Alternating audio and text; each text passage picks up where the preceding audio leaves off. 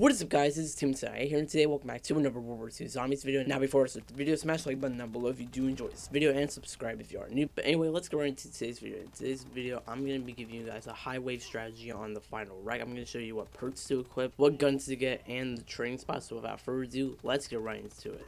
Now the perks you want to get is quick revive, speed cola, double tap, stamina up, and electric cherry. And for the guns, you would want to grab the M1941 in the Riverside area of the map.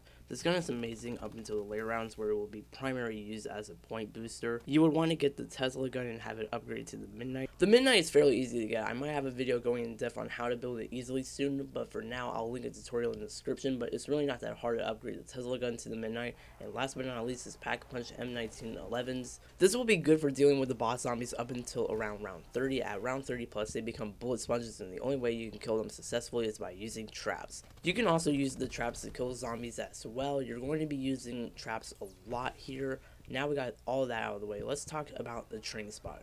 Where you would want to train is at the village square slash riverside area you would want to loop your zombies around that area. Don't try to gather a big horde of zombies, otherwise they might badly. Usually with a lot of high round strategies, you would want to gather up a big horde of zombies and then kill them while they're in a big horde. That could possibly get you killed this time around because you also got to deal with the boss zombies, and the boss zombies, like, you can't just hoard them up. Otherwise, it, it's just going to end badly. I don't really recommend just hoarding up the zombies. On the screen, I am showing gameplay of the general area around the map. You just you do a big circle around the riverside slash village square area of the map. Like, honestly, that is a really, really, really good, like, training area like I said, on later rounds, you're not really going to be using your weapons a lot. I mean, you're going to be using them, you know, to boost points However, they're not going to be really that effective because at the release of this video, there hasn't really been a way to double pack a punch. I don't even know if we can double pack a punch on the final Reich. And even the Tesla gun can be pretty useless at a high round. I mean, it's pretty good, you know, for wave 50 attempts, but like if you're going beyond wave 50, it might get weaker and weaker.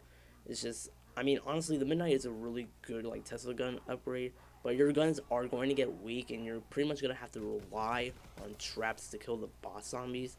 I mean, the regular zombies is a pain enough. However, the boss zombies, like, they're going to be constantly spawning. You're going to have flamethrowers. You're going to have bomber zombies. You're going to have a lot of boss zombies, and they can be pretty dang annoying but just kill them with the traps and that's honestly like the best tip I can give you guys for dealing with those guys. But that's gonna wrap up today's video, high wave slash high round strategy for the final Reich in World War II zombies. Leave a like if you did enjoy this video and subscribe if you are new for more World War II zombies content. Comment down if these tips have helped you out in some shape or form and comment down your highest round on the final Reich. But my name is Team Sai here. Hope you guys have a wonderful day to see those positive vibes flowing and I'll see you guys in the next video.